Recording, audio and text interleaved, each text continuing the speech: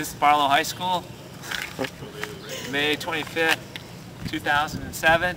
Uh, Friday afternoon, school's out. We're here in the courtyard uh, with some chemistry enthusiasts.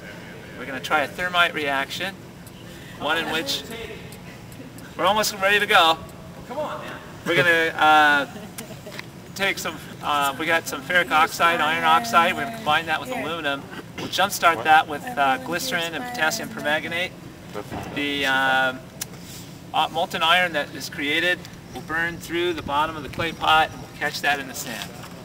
And if the reaction releases uh, 847 kilojoules of heat uh, captured in that molten iron. So it's going to be awesome. That's good. Good. Okay, that's Hey, it's like the 4th of July in May. now that's the glycerin and potassium potassium permanganate. What we want is the secondary reaction to happen. Hopefully it'll kick in. That's the one that... Everyone ready Fourth of July song? Oh, oh yeah. Oh crap! That's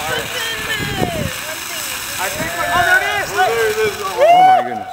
look at that. Oh, wow, it's molten. Dude, look at that. Is it cool? Is it explosive right now or no? No.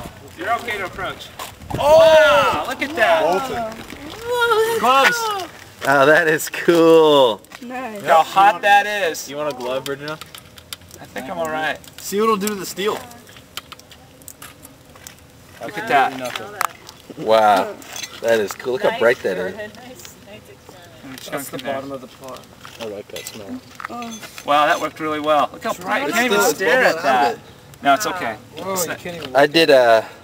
I worked for a family friend that had a, a, uh bronze foundry. And there'd be the big molds, and we'd be like pouring in the molten bronze into it. It was pretty cool. It was really hot. You'd be like that. 10 feet from it and just sweat and It's bucket. still light. It was crazy. It was a really fun summer job though when I was in high school. That was awesome. Can I touch it? Estimated temperature Can 1600 touch it? Yeah, can I ah! touch Smells like 4th of July. Do you want your Actually, when you touch it, the pain doesn't set in for a few seconds. So. Yeah, you'll be okay You for could be playing hockey